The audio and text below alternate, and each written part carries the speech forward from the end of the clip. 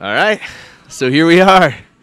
Jeff Short here at TRVFIT Johnson City. Super excited to jam, man. Thanks for having us out. Yeah, thanks for having me on. Yeah, man. So super excited to unpack all this. Obviously, you are, well, not obviously, for those who don't know, you are the owner of TRVFIT Johnson City. Dear, dear brother of mine, man. We've grown to what I would like to call a really great friendship throughout this whole experience, man. But yeah, without a doubt. um, just wrapped up an incredible fight and flow experience with your members, doing some yoga, a hard workout, cold tubs, phenomenal. How you feeling, man? Great. event like that. Great. Good event. Um, a lot of great feedback from members. They loved it. And that's all that really matters.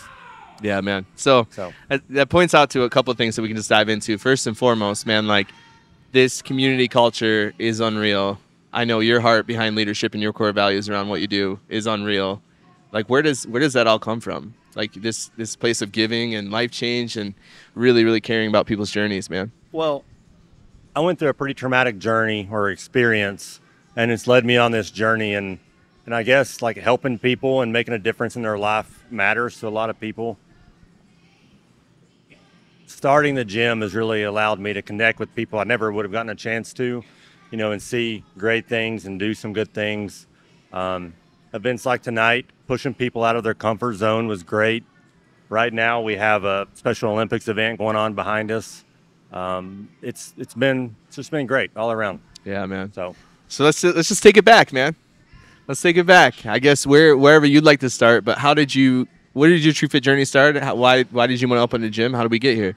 yeah, so to kind of start from the beginning, uh, I was in an accident, a car accident, put me in this wheelchair back in 2018. I just passed my five year anniversary a couple weeks ago. Wow, man. So um, I had a car wreck, put me in the wheelchair. I was in the hospital in rehab for about three months stint. It was uh, it was a wild ride. Probably shouldn't be here now. Um, I died four different times through it. Tons of surgeries, all kinds of stuff. Coma. It was uh, it was a crazy event, but I made it through it. Made it through rehab. I went back home from Atlanta. I went to Shepherd and, re- and for rehab in Atlanta. And I got back home, and I was a big workout guy before, but there was there wasn't really any gyms that a I felt comfortable in. I worked out in a few CrossFit gyms, and I've got a friend that runs a CrossFit gym, trained me, and he was great, great guy, but it just didn't feel like you really fit in there when you're in a chair. I went to some 24/7 gyms. It was the same way, so we decided we wanted to open our own. I had a business partner for a little while on it, and we were interviewing different franchises. And I have a day job that I still work. I worked before the accident. I work it after, same exact company that's based in Michigan. Um, and then we had some friends that I worked with that went to TRVFIT, coached at TRVFIT, and then she introduced me to you. And well, she introduced me to Bonnie. Bonnie's phenomenal. I knew this was coming. Yeah. Tyler didn't want to talk to me about opening a franchise in Johnson City. So instead of going to Tyler, I sold Bonnie on the idea and let Bonnie sell Tyler. And here we are, what, three years? Three years later? Yeah, man. Yeah, I mean, we should rewind there. We should put some preference to that and your your harsh words that you're having fun with. Um, so you reached out. What was it, 2019 when we Yeah, started talking? 2019. Yeah. And we were at a very pivotal moment at TRVFIT. We had just opened, I think, like eight or nine locations in 2019. I, I was closing down franchising actually what seemed like right before um, right before COVID because we were in the middle of a big our TRVFIT 2.0 model. Um, so it was actually really interesting because you did reach out. I didn't just say no. I just said, hey, at this time we're not franchising more right now. Um, thanks, but no thanks. at that point, you know, we get, you know, and I often talk about this often. I, I tell, I try to talk people out of opening a gym more so than not. You've heard this before than I do when people inquire about a franchise than I do try to hard sell them. It's a big life decision, and we want to make sure it's the right fit on our end. This, without a doubt, was one of the most incredible fits. You're, you're a phenom, but we weren't currently franchising at the time. Your friends were coaching. Shout out to Kristen and Aaron. Were coaching um, for Bonnie, or maybe her facility after she They knew sold those locations. Exactly, yep. Yep. And for those who don't know Bonnie, she's uh, our, our head of mentorship at TRVFIT HQ. She owned a few locations. She sold her locations when um, when she got diagnosed and so forth. But you reached out to Bonnie directly. And then I remember this conversation with Bonnie. She goes, "Hey, you need to talk to this guy. Like he's got it. He he gets it." And then obviously Yeah, two went on from conversations with Bonnie, and then finally, finally, Tyler calls me and says, "All right, let's have a conversation." Yeah, yeah. Well, that just points, you know, Bonnie obviously knows culture, knows ins and outs, but obviously it was meant to happen. So, dude, I want to ask because your, uh, what's up, Rowan? Your, uh, your journey with your your accident and so forth. Like, the biggest thing that stood out to me right off the get go is how much positivity, even some playfulness that made me uncomfortable sometimes around. Oh, um, yeah. your I do it all the so time. forth. But like, what was that journey like where where I would have, you know, I would have been self-deprecating and negative probably forever. And the biggest thing that stood out from you is your positivity, not only being become make this an adaptive athlete space and you being an adapt- adaptive athlete going to compete at Wodapalooza and all these things. Like what was that shift like when it went from like dark and heavy, which I'm sure that still comes up, but what was it shift to where you really started embodying So that positivity? You know, I went I went through probably a period of depression, especially when I was in rehab in Atlanta. Um, super hard time in my life. It was six to eight hours a day of physical rehab, trying to learn how to live in a wheelchair. So that was super hard. And then the nights were tough because it was such a new experience. My wife at the time was with me. Um, so, you know, I, I probably went through some pretty bad moments then. And then when I got home, there were some pretty bad moments as well. But I had a I had a little girl at the time. She was just starting kindergarten when I had my accident, and day in and day out, I kept thinking, you know, how do I want her to see me grow up? You know, what do I want to happen to her? How do I want her to kind of react and, and live life? Because this is a pivotal moment for her too. Because she just, you know, I, I think about it. I went through the accident. Sure, I'm the one paralyzed, but now my ex-wife we were friends um, and then my daughter they went through a traumatic experience as well. So they were dealing with that in their own way. My daughter i just kept thinking how do i really want her to to manage life? Because life isn't easy for anybody. Life's not fair for anybody.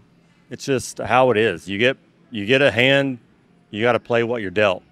So i could lay in bed all day or i could turn it around and, and do something with it. And I was going insane laying in bed at home. So I went back to work. So I wrecked. I wrecked in August. Went back to work. I actually worked a little bit when I was in rehab until my job found out, and then they made me quit. Turned off my stuff because I, I'm in sales, so I have customers I took care of. I went. I got home October 31st for her Halloween, and then I was back working at my job before December 1st Wow. and then back traveling like March of the next year, so four or five months later. So that was twofold. A, I was going crazy. B, you know, life not only is it hard, but it's expensive. You've got to have money to live these days. Mm-hmm. So I knew I needed an income. I refused disability when I was in Shepherd Center. They wanted me to sign up for it, and we had an argument, me and and Shepherd people about it because in my mind, even then, I wasn't disabled. You know, I was in a wheelchair. I'd have issues, but at that point in time in my life, I was going to walk again. It was going to happen. So, get out of here with the disability. I've since, I mean, this is five years now, accepted that's probably never going to happen. It's probably not in the cards, but you know, because I guess my attitude and then things that's happened since then, I'm okay with that. Like I am 100% fine living in a chair. You know, I, I lead a great life. I'm now remarried. I have three kids. My oldest, who's mine, and then two stepkids. But even day to day, like it's my wife now talks about it quite a bit. Stuff I deal with, and I don't complain. But again, I'm setting the example for them and and friends and con- people in here that know me now, and they see how I interact. So I guess I just think about it that way, especially my kids and you know what do I want them to see growing up in life. Yeah. That makes sense. Yeah, man, that's powerful. And I want to like celebrate you and kind of put you on the spot too, because that trickles into everything that you touch and probably the ripples that you don't even know about, man. Like I, even when we've discussed, you know, when it comes to like mentor, like business mentorship or like what's going on in the gym systems, all those types of things, like I've never once heard you go down that spiral that people have a tendency to do. Like everything's broken, everything's this negativity, right? Because like business is tough. Every li- life's Yeah. tough in general, but business is a, hard. is is is tough. And I've through any of the, you know, unique experiences that you've been through and stuff like that with business, like I've never heard you be negative or like I don't want to say that victim mindset that we that I hear, but I'm huge on is- victim mentality. Huge on that because there's lots and lots of people, especially in today's world with all the turmoil, that have the victim mentality. This happened to me. I'm the victim. This and that. But you know, at the end of the day, like I did this to myself. I nobody hit me. The wreck was my fault. I hit a tractor trailer, so it was hundred percent on me. So how am I going to deal with it? Be the victim and then you know, ruin everybody's life around me, or own it and make my life better. wow. so man. it that's that's a pet peeve, especially people that have that victim mindset. And and I mentor some people and help people, and try to help them understand, like you know, yeah, bad things happen, but it's how you respond. It's how you respond. It's how you pivot, how you interact. You know, it's all on you. yeah, man. So you're responsible Yeah. for yourself 100%, and I'll say it all day. Yeah, it sounds like extreme ownership to me, man. yeah. It's I mean- huge. and that testament, I mean, we, we dropped in for a few minutes before we got set up for this podcast, and we were kind of like definitely taking in this experience too, and that reflection of like, man, like, of course, business is um, super, super rewarding, but also, like we said, super, super tough. And really that, that heart check, man, where you, you are doing this literally to change lives, which, Yeah. which is huge. And like, just today's experience, then coming in, obviously the Special Olympics event in here, like the way that you create a space for adaptive athletes, like the special equipment that you have in here, the people that you're training. I know that you've mentored other individuals who have had accidents and so forth, man. Like you're a living testament of that life change, man. So I want to thank you big time. Yeah, we we've got uh, several adaptive athletes in here because I mean I really and the the whole point of TRVFIT for us in Johnson City, I know it's for you as well, but I want everybody to feel comfortable coming to a gym. I know I know how hard it is, especially to go to a new gym, feel out of place, feel uncomfortable. People look at you. I mean, you go to any gym in a wheelchair, people are like, "What are you doing here?" Mm-hmm. That's the first thing they think is, "Oh, this guy's in a wheelchair. How's he going to work out?" And I feel like there's people that think that about themselves, where they have a larger body, or they have. We have a guy in here that's, you know, he's got some birth defects from that he deals with every day and works out. We just buy some adaptive equipment for him. He does phenomenal. We have some other people in chairs. You know, like we just want to be a place that everybody can feel comfortable coming. And we're not going to be everybody's cup of tea. We get that, and that's okay. But we want to be a lot of people's cup of tea that they don't feel like they fit in other places. Mm. And mm-hmm. we have a lot of accountability because if you're going to come, you're going to come. Mm-hmm. You're going to work. It's going to be hard. But I tell any anybody new that I help come in, you know, if I can do it in a wheelchair, you know, paralyzed from pretty much the ribs up, you know, what's your excuse? Yeah, So, man. I mean, I, I don't, I don't, I don't want to, I don't want to hop into your story by any means, bro. But it was, it's been a big testament to me. Hop I got- away. I can't. what's that? Hop away. I can't. Oh my gosh, that's a that's another prime example of the of the play he likes to do that used to make me super uncomfortable until I understood. That's that's part of his nature. But yeah, man, there's a huge testament to me. I mean, obviously going through this back injury, man, I've actually put myself in self check around your positivity often. Like it's been a testament to me where I'm like, you know, I want to get in that pit of oh, I'm angry, I'm dark, it's sad, blah blah blah with this back, and I'm just like, you know, Jeff's story and so forth has been a huge testimony of how you keep it positive, and also like today's workout. Like every time I come down here, I look forward to doing seated workouts with you, and they're freaking tough, man. Today's you go so hard. Today's was tough. You got a little over ambitious with writing the workout for today, I will say, but I tried to quit in my mind twice. Yeah, but I made it through. Yeah, but it's like it's another thing where where we got these limiting beliefs, or you know anybody watching maybe or something like that. They have those limiting beliefs of not exercising or not doing the best, like the most with what you have. And like every time I come down to doing these seated workouts, you're always pulling out new maneuvers I haven't seen and so forth. And I've been pretty conscious of the adaptive athlete space, but not I haven't seen half of these exercises and so forth, man. And I mean, in the big picture, also, I think a lot of times, I know, you know, the saying, it could have been worse. It could have been worse. You know, the flip side of that, it could have been better, sure. But there are people in chairs a lot worse than me. If my injury would have been another inch up, I wouldn't have had use of my hands. I'd have been a quad instead of a para. Wow. So, you know, I'm like, I gotta look at the positives and think of what's positive that happened. And, you know, I have full use of my hands. I've gotten quite a bit of movement back in my core and my trunk, mm-hmm. and that's you know that's all positive. A lot of hard work, but you know, like I've got to look at it that way instead of, oh, I'm in a wheelchair. Mm. I mean, somehow you know, my ex-wife and I, we got divorced. We were better off apart than together. We're still friends. Um, we co-parent really well, and somehow, you know, I had a lot of limiting beliefs for a long time about getting remarried, what would happen. There was a lot of issues there, and I guess I'm a pretty good salesperson because I landed my current wife, who is an absolute 12, um, two awesome kids. So Yeah. Shout out shout out to Bethany, but that's also that was also a beautiful experience because we had already built our friendship, man. And Yeah. I remember you saying, "Hey, I'm going on this date," and then now to see you guys and your your beautiful marriage and her obviously Yeah. helping you run the gym and so forth, and her all the things that she handles too, man. It's been it's been yeah really encouraging for me as a single guy too to see your guys' beautiful marriage and Well, um the thing is, like, bad stuff can happen, but it doesn't mean it's over. You know. Yeah. So Yeah. life in general. Yeah. So Yeah, and you're not a salesman, dude. You're a stud. You're you're a force to be reckoned with, man. So so what do uh like if you? It, I mean, I feel like we've dropped a bunch of like those tidbits throughout the throughout the way, but like usually I want to ask if there's like what's your what's your message? Like, what do you want people to get? I'm sure we've heard bits and pieces of it so far, but for anybody watching this, what do you what do you want to make sure the world knows? I mean, there's a million. There's a million ways I can go with that. Yeah. like an absolute million.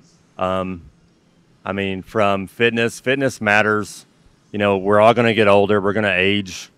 So, uh, somebody told me recently, motion is lotion for your body. So, fitness matters. But I mean, I think as much as fitness matters, a positive attitude matters as well. Because if you have a terrible attitude, you're not going to try to get fit and help yourself. You know, it goes hand in hand. So I don't know how to tell people to be positive. Uh, it drives my wife, drives Bethany crazy because if she's in a bad mood, like just move the negative, remove whatever is making you in a bad mood, Yeah. and your mood is better. Yeah. So it doesn't work like that for most people, and and I get that, but um, I feel like being positive and being thankful daily goes a long ways to improving your overall mood. Come on, man. Um, and that and that helps everything. It's a snowball effect. You know, I mean, if you're if you're positive, the the amount of things your kids pick up on through daily life is just crazy. You know, your kids seeing you be fit is insanely good for them. Lifting weights and they see it as a norm. It's phenomenal. And then it pours over into work. You know, the more that positive attitude bleeds into work. If you're always negative and you have negative thoughts all the time, well, no wonder you're not doing well in your job or you're not as successful as you want to be. You know, you've that that power of positivity bleeds everywhere, yeah, man. everyday life. Yeah, that's huge, bro. That's a that's a big testament and like big big part of my messaging nowadays too is like health and fitness is is crucial, but it's one one out of three components, right? Yeah, if you don't have your head, your mindset, your soul, your you know obviously your mind mindfulness and so forth, like Yeah. health and fitness isn't going to cure the whole thing, right? No, Yeah, no, there's there's some other issues that have to be on the right plane as well. Yeah, man. So always a dance with that.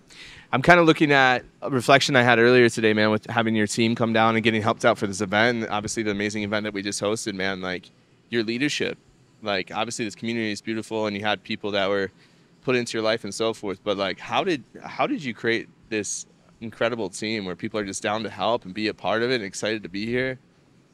I mean, honestly, it's a lot of luck. Um, meeting the right people. I mean, they're they are absolutely phenomenal. I've got a great a great group of friends that are around. Um, great coaches here that help. I mean, that help me run the gym daily. Without them, I couldn't do it. Um, great staff. So it's it's a whole lot of luck, being in the right place at the right time. But um, you know, then I just feel like also it's back to that mindset and people are around people like them or people are around people they enjoy being around. Mm. you know if i was a suck on everybody all day long Mm-hmm. nobody would want to work for me be around me uh, there'd be some real issues there. So again it's it's how you treat others. We have a core value at my so i work a day job as well out of based out of michigan. You know and one of the core values is people and relationships come first profits will follow. And i've carried that over into this i mean night and day because i mean exactly so i think that's matters you know you put people first you put relationships first you know the profits will come later but Yeah. that's what matters more than anything Yeah, man. you know I- i've made a bunch of money i've lost a ton of money i spent a ton of money more than i definitely should have but I'm gonna always gonna make more. Mm. But you know, treating people right and putting relationships first, and you know, creating bonds like we have. I mean, we've only been friends for three years, and I feel like I've known you for 20. Yeah. So I mean, man. that kind of thing is what matters in life. We're all going to make more money. We're going to lose more money. We're going Right. to spend more money. right. I hope I make more money. but um, I mean, I guess just the relationships, the people I've made in the gym has just been phenomenal. Yeah, man. Yeah, So. it's a true testament to you, man. I know you won't. I know you won't necessarily say that. You're definitely humble for sure, but it's it's what you're radiating, big time, man. Yeah. I also, man, it's so crazy. Like you're the off, like the home office of your day job is literally in my hometown. Yep. Like that's wild. We're in, we're sitting here in Johnson City, Tennessee, and that's crazy. You We're know, based out of Howell, Michigan. Yeah. and I still work for them um, in a full time job, and I, I manage a good portion of the country um, in a technical sales kind of role. And then, you know, that's back to my staff. I've hired great people that run this for me on a daily basis. I come in when I'm here, I get a workout. They'll call me if they need stuff, they'll email me, but I'm not here hmm working in the gym hardly at all through the week. I mean, Yeah. they do the whole thing. Yeah, man. So that's that's just again the power of my staff, people I've hired. If they need me, they call me. But for the most part, it allows me to do what I need to do. Yeah, man. So it's been phenomenal. That's, I mean, that's that's true business ownership. yeah, is you are in the business of empowering your team, job creation, and trusting your team, right? Yep. And you trust your team, you're empowering them. I know that you obviously you're empowering them, but it's it's one thing for business owners, like small business stays small for a long time because they white knuckle everything. Yeah. They try to do all the roles and all this sort of stuff. Like that's a good testament to this incredible, huge facility. Uh, Our first legacy location, we can talk about that, but um, that's huge, bro. So thank you for leading from the front, man. yeah. It's it's like I said, I've just I've gotten really lucky. I've had great people around me, so it, it just makes makes my life easier, and I can concentrate on other things that I need to do. Yeah, man. So and Amazing. then still provide a facility in a place that, I mean, it's kind of corny, but you said all the time. But you know, it is changing lives. Hundred percent. So Hundred percent, man. Cool, man. Well, I guess like what's so you competed in Wodapalooza not last year or the year before? year before, two years. Two years ago. Do you have any ambitions or anything on the calendar right now? No, so subtly subtly nudge you right now on, on camera, but I went pretty hard um, in the Open, CrossFit Open last year. I got a pretty significant elbow injury, Mm, um, and that that really hampered things. To do a lot of Olympic lifting in a chair, it just it's Mhm. tough, and it's tough to compete in a chair because everybody's injury level is different. yeah. So I'm a T1, so I'm super high injury, and and you're competing against guys, and it's not their fault, but they're T12 or they're down to their hips, So they have their full core. Yeah. So you compete against people. Every single person has a different injury level, and they have different muscles that work. So they try to make it as fair as they possibly can, but it's almost impossible. Right. So, you know, that's kind of a bummer. Um, it's a great community, Yeah. but I do. it- I mean, I work out five days a week now, but it's more to make my life easier than a competition Yeah. side of it. Yeah. Enjoying it. Yeah. yeah. So, I would rather have people through the gym compete in whatever it may be, and just go on the experience with them. You know, be that person with them, helping them through it, making fun of them when I can do something in a wheelchair and they can't. so, being that positive light. Yeah, yeah, yeah. The the flip side to it. So if anybody in Johnson City is listening to th- listening to this and they haven't got the experience TRVFIT Johnson City yet, what would you tell them? just give us a shot. Again, we won't be for everybody, but you won't know if you fit in here unless you did, un, unless you try us. Um, give us a shot. We're we strive to really be different than a lot of other places because we understand what it's like to not fit in other places, especially me being the owner. So, you know that that's big for a lot of people, and they're super nervous about starting. But just come by and at least take a tour. And then anybody adaptive in a chair, obviously, I have a huge soft spot for. So, I mean, I give free memberships to anybody in a chair Wow. that'll come in because I know how much it'll change their life by getting fitter and healthier. Wow, man. Um, I've got one guy that heard me on a podcast about a month ago, Johnson City Living podcast. He was from Texas, just moved here and heard it, came in, has been working out three days a week with me. Come on, man. So he's been, he's a phenomenal guy. yeah, man. So- that's amazing. Yeah, it's- thank you for that, bro. I mean, you know, you think like, who's going to listen to this podcast about me? Like, this is a joke. That's what I think. Um, nobody wants to hear my story, but his name's Mick. He's an awesome guy, and he's like, "Yeah, I heard you on a podcast." He's been here like crazy. Let's go. So Let's go. You know, that's that's the power. I'm like, okay, yeah, these work. yeah, man. Yeah, dude. It helps And- other people. Yeah, not to mention that the whole TRVFIT community, like everybody knows who you are, man, and like your message and the light that you show, man, and like the whole TRVFIT community has eyes on you and celebrates you, bro, and what you guys are doing down here. Um, so I don't resonate with what you're saying as far as I understand what you're saying, but Yeah. I'm a little nudge there, you you rock star, but.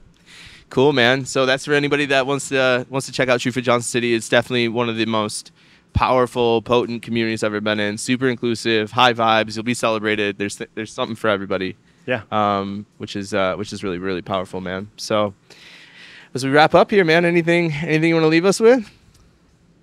No, I mean, I've I've rambled on about a lot of stuff. Um, yeah, just thank thank you is what I want to leave. I mean, Mm. without you, none of this is possible, and you're going to be the same as me and, bl- and brush it off.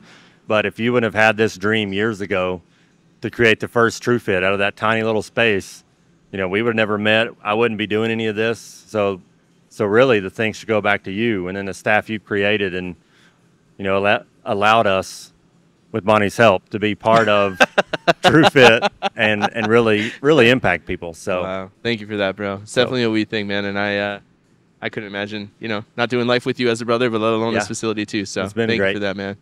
A Cool. lot to go, a lot to come. yeah. So expect another one here soon, man. So thanks for doing this, Chef. yeah thank you. Oh my goodness.